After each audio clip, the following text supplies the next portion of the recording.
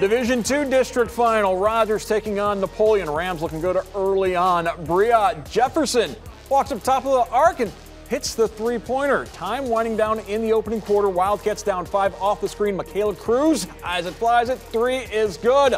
Late second quarter, Jefferson takes it herself. Soft finish for the Rams. They're up four at the break. In the fourth, Rogers trying to pull away off the miss. Nia Clark gets the putback. 48 41 your final. Rams take home the district championship. Clark 16 points in the win. Last year we got put out in the sectional, so we had to stop early, but we really wanted it this year because we had a message to say. Because everybody didn't think we was gonna make it this far, and we really, we really could do this, and we really should have had a better record. But it's okay because we coming back now and showing everybody everything we can do. You're playing basketball in March, which is great. Congratulations. Thank you.